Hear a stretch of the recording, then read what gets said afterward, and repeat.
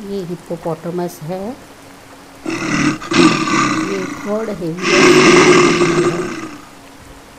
First rhinoceros है second elephant है।